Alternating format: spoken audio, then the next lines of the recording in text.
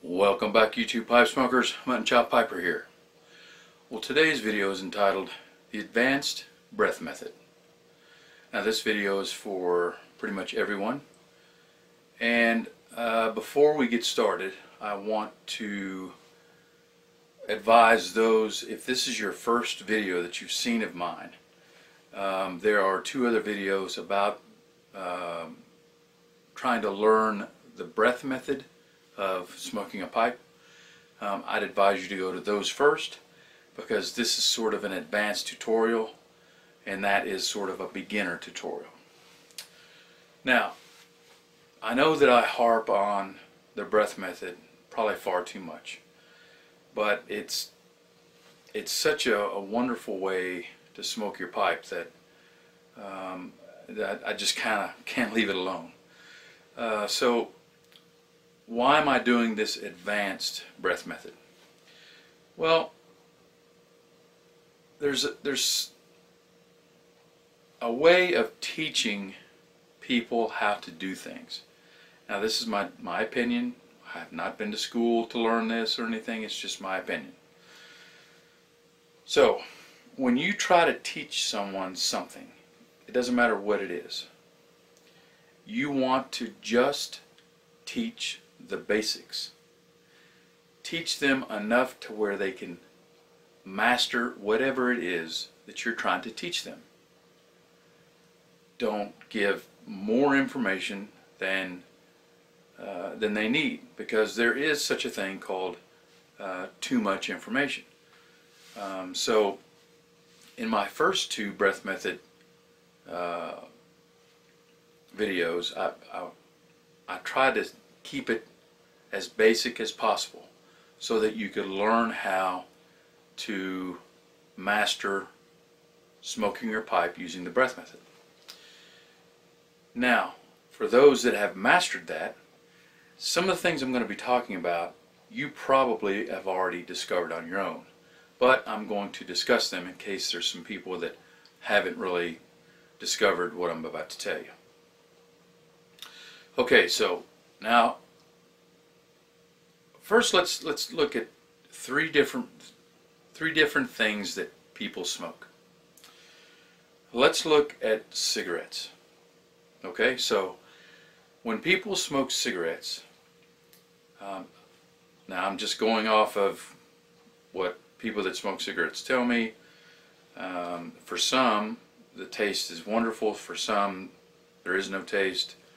Um, so basically when you smoke a cigarette you put it to your mouth you draw it in draw it into your lungs and then you blow it out.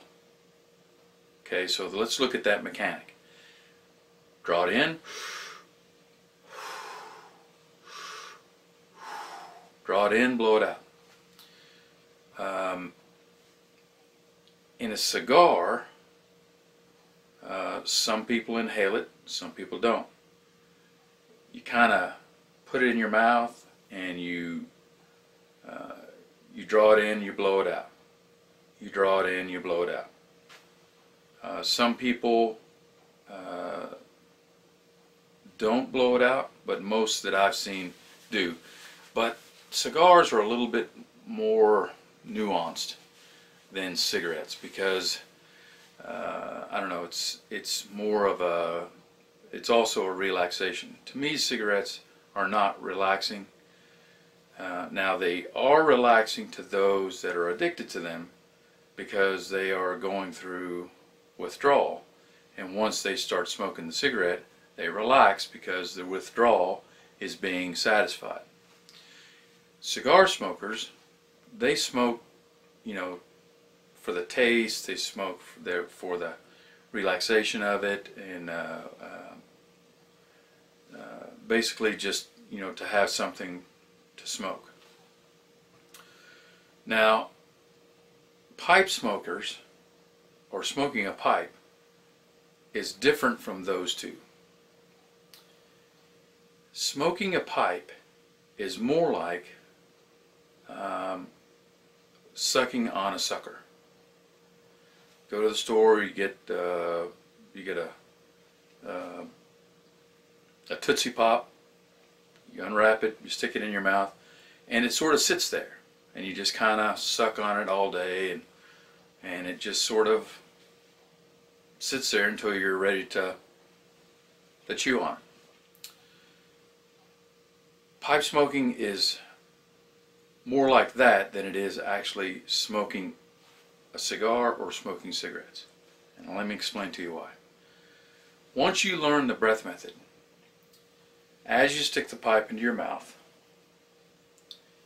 you're breathing in and out through your nose, and your pipe is in your mouth. There have been times where I have okay let's let's go back as you breathe in and you breathe out you you pull or you draw slightly on the stem delivering small portions of smoke. And then you force that smoke back through the pipe okay? So there have been times where I have been smoking a pipe and I never send any smoke out of my mouth. It's basically I just breathe in through my nose small sip in out through my nose the sip goes back through the pipe. Now that's the basic mechanic of it. So what's the advanced part? The advanced part is how you can control how the pipe operates. So you know that when you light the pipe, you've got an ember. And the ember burns and it burns down, uh, down toward um, the bottom of the pipe. So if you're, let's say that we're, let's say that you're smoking your pipe and you get kind of lost in something. You're watching a TV show or you're reading a book or, or something is holding your attention and you're not paying attention to what you're doing. So after a while, the breath method will come naturally and you will breathe in, sip, breathe out, blow back through. Sip in, blow back through. Well, if you get excited, maybe your breath, your breathing increases and the amount that you draw increases as well. Well, when you do that, all of a sudden your pipe gets hot and you start feeling a burning sensation on your tongue. So then you're like, oh no. So how do you correct that without taking the pipe out of your mouth and say, okay, I'm just going to set it aside and let it sit there? What you do is as you breathe in, you don't draw on the pipe. As you breathe out, you force some air back through the stem. What that does is the act of drawing causes that ember to uh, uh, to grow, to kind of get uh, brighter as it burns more of the fuel, which is the tobacco. Well, if you just blow back through, it's not causing that ember to glow or to uh, burn any more of the fuel as uh, of the fuel which is tobacco.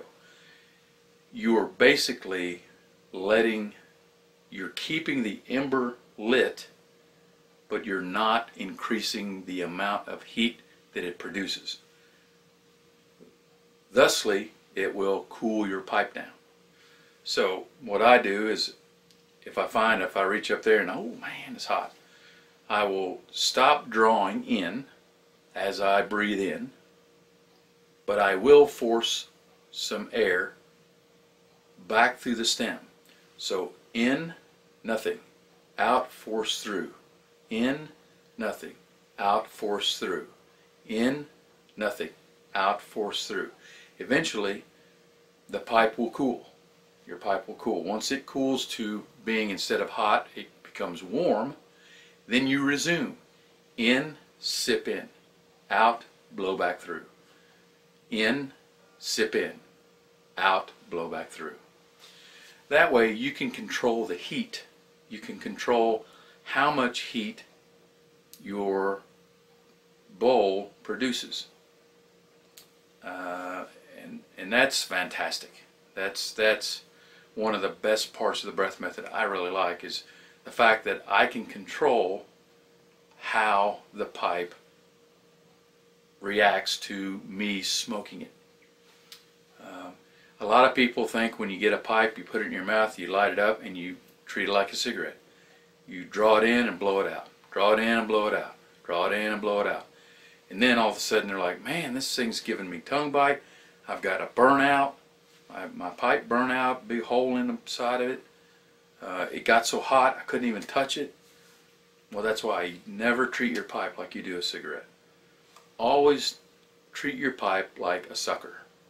Stick it in your mouth and you lightly, lightly draw on it as you breathe in and force air through as you breathe out of your nose.